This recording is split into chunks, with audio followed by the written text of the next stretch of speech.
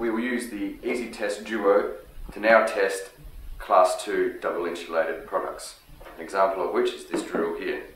To test this drill, we plug it into the Duo, and use this external probe, turn the drill on, touch this probe to any exposed metal, with a result of earth leakage being displayed on the bottom of the LCD screen.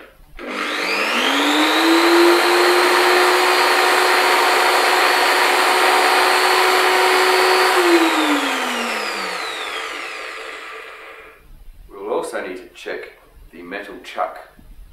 Now because the drill is energized, to maximize safety, we have inserted this smooth piece of metal inside the chuck of the drill.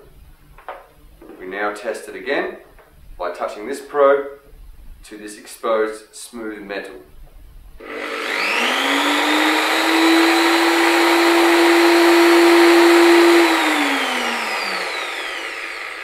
And the result of the test is still displayed at the bottom of the LCD screen.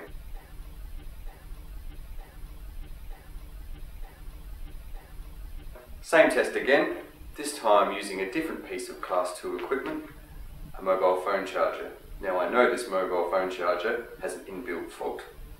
We simply plug the charger into the Easy Test Duo, use the test lead and touch to any exposed metal surface.